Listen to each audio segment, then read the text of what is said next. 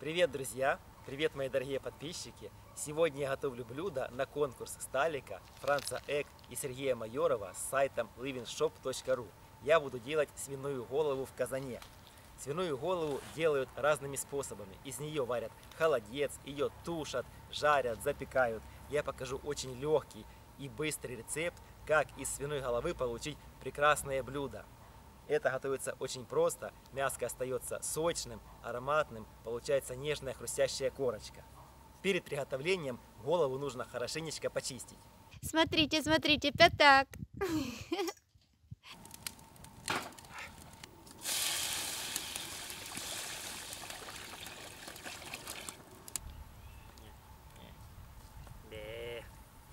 Сейчас я ее быстренько разделаю. Как всегда, я ушки хорошенечко помыл пальчиками и сопельки все повычищал из носика.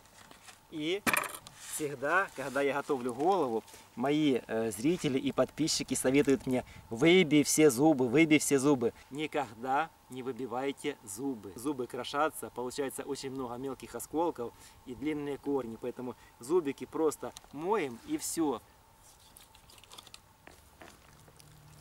Я думаю, вот так просто порвать ей пасть будет самое правильное решение. Ушки. Ножовочка.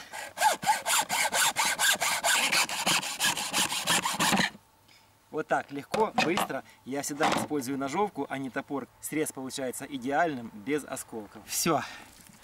Вода, как всегда, фильтрованная. И для того, чтобы мяско было вкусным, я закладываю его именно в кипящую воду. А ушки я еще немножко порежу помельче. Мне понравились в прошлый раз ушки. И мне. Очень вкусные. Да. А как ты их готовил? Если вы хотите узнать, как вкусно приготовить свиные ушки, смотрите, ссылочка вот здесь вверху. Все ушки я помыл. Вот, поэтому можно смело закладывать все в казанчик. Сегодня у нас в казане свиная голова. Наверное, очень вкусно. Попробуем. Бульончик уже закипает, и я с него обязательно собираю пенку. Свиная головень будет вариться 2 часа как минимум, а может быть и больше. Нет, за часик до готовности я посолю, а потом за полчасика добавлю все пряности и специи.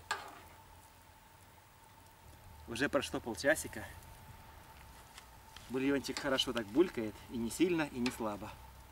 Но теперь самое важное, смотрите, вот, деликатес. Его нужно доставать. Это свинские мозги. Очень вкусненькие. Покажи пятак. Пятачок тебе показать? Да. Смотри, твой любимый пятачок. Ты его будешь кушать. Он очень вкусный. Хрёк, хрёк, хрёк, хрёк, хрёк. Свиная голова варится уже полтора часа. И теперь самое время закладывать пряности и ароматные овощи. Я беру несколько луковичек и вот сюда тыкаю бутончики из гвоздички. Морковка должна быть тверденькая, когда уже все сварится. Я ее режу на очень крупные куски, вот такие. И, конечно же, острый красный перчик. Он у меня высушенный, здесь разные сорта, и вот такие маленькие остренькие, и вот такие кругленькие и длинненькие.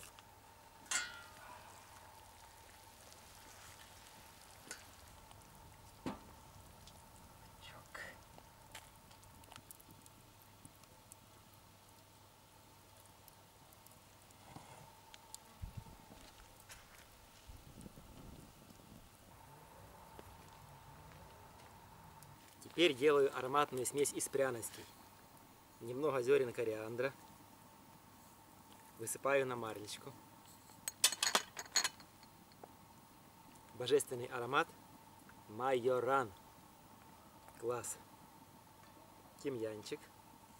Черный перчик. Орегано. Шалфей. И все это аккуратненько заворачиваю. Сами знаете что, обязательно это хвостики петрушки. Вот такой хороший пучок. Было бы больше, я бы и больше положил. Пряности, петрушка и лавровый листик. Вот так Легонечко бульончик кипит. Я попробовал его на соль. Всего хватает. Жирок уже прекрасно сварился, а мяско еще чуть-чуть требует доварки. Как раз эти 20-30 минут, пока будут пряности отдавать свой аромат, для мяска будет достаточно. Я уже почистил чесночок и лучок. А теперь в ступочке я разотру пряности, какие мне нужны будут для дальнейшего приготовления. Зерна кориандра, черный перчик и немного майоранчика. Все это растираю в ступочке. Чесночок я совсем чуть-чуть вот так попридавливаю, чтобы только крупный он расплющился. Острый перчик. Попробуем.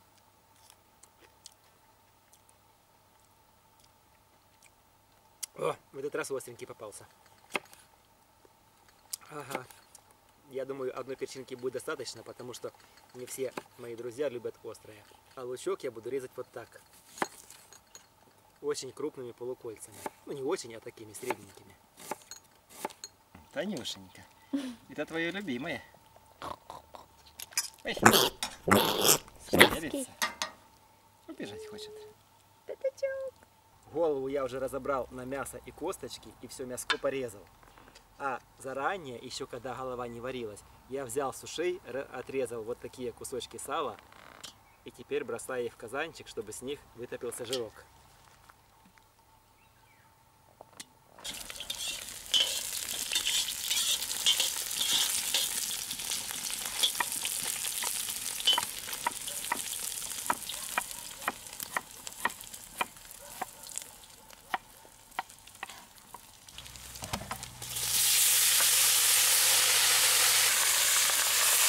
Слегка обжариваю мяско.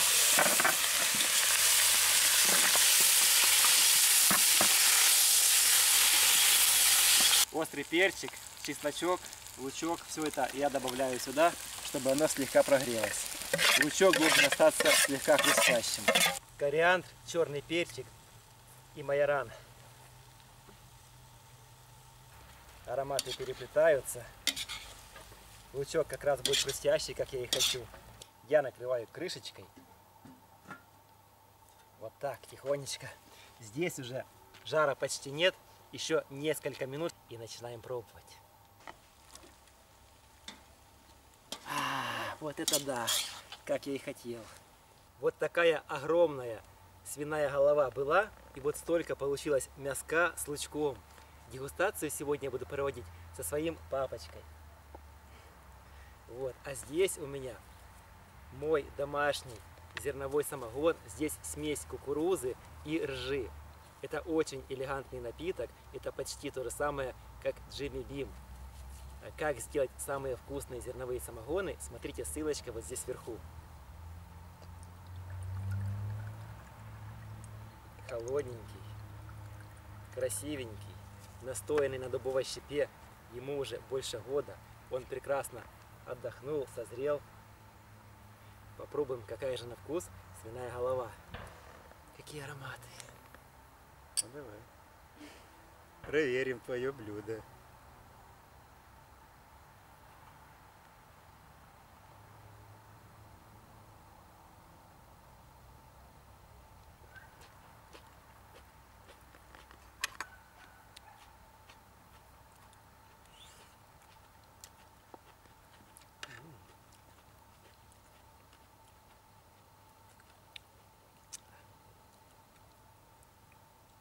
Лучок. Столько много лука. Ну как? Класс. Хорошо. Лук дает обалденную сладость.